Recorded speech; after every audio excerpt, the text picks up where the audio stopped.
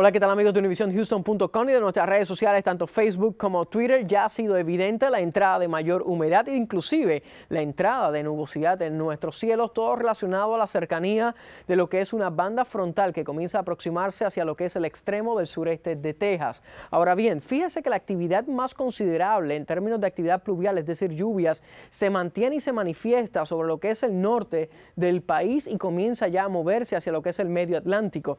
En nuestra zona no vemos actividad pluvial significativa por el hecho de que no existe la humedad necesaria a niveles de, en todos los niveles de nuestra atmósfera, deberíamos decir, ni tampoco así la inestabilidad necesaria para que pueda estar produciendo algunos aguaceros. Así que el mayor efecto de esta banda frontal debería ser la entrada de aire fresco sobre nuestra área metropolitana. Entendemos que esta banda frontal ya eventualmente mañana durante gran parte del día debería estar atravesando nuestra área metropolitana. Como cuestión de hecho, ya las lecturas de temperaturas en lo que es la ciudad de Amarillo, en Midland, ya han comenzado a descender, obviamente respondiendo a la entrada de esa masa de aire más fresca. A medida que ese frente continúe su curso hacia el sureste de Texas, estaremos viendo cómo las temperaturas gradualmente deberían ir descendiendo. No debería ser un descenso marcado, pero sí ya durante horas de la noche sentiremos la entrada de ese aire seco y sobre todo algo fresco. En términos de lo que muestran los modelos de computadora en cuanto a precipitaciones para el día miércoles, vean ustedes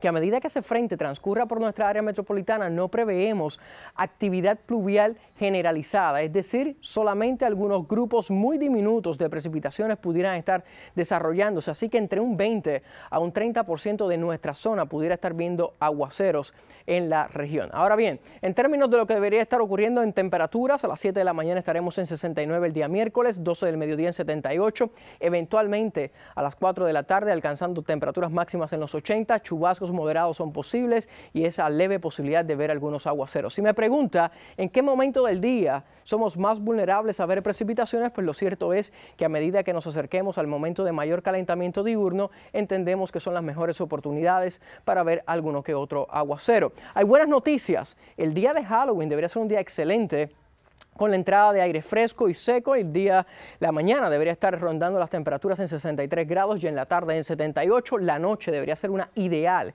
en cuanto a condiciones en el tiempo, temperaturas de los 72 grados a las 7 de la noche, eventualmente a las 11 ya estaremos en los 64, así que un abriguito ligero para sus niños pudiera ser necesario cuando salgan a pedir dulces. Pronóstico extendido, miércoles, el único día con actividad pluvial en nuestra zona esta semana laboral.